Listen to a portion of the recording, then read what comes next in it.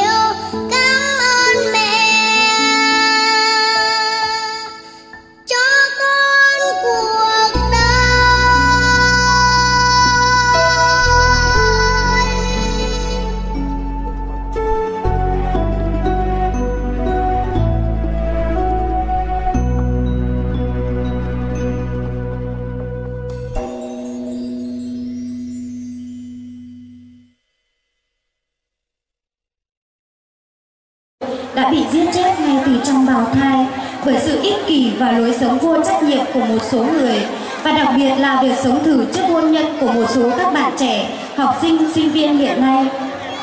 Và bây giờ, xin mời cộng đoàn cùng lắng lòng để lắng nghe sự lên tiếng của các thai nhi qua ca khúc Xin đừng bỏ con mẹ ơi của nhạc sĩ Nguyễn Quốc Việt với tiếng hát của bé Hà Anh.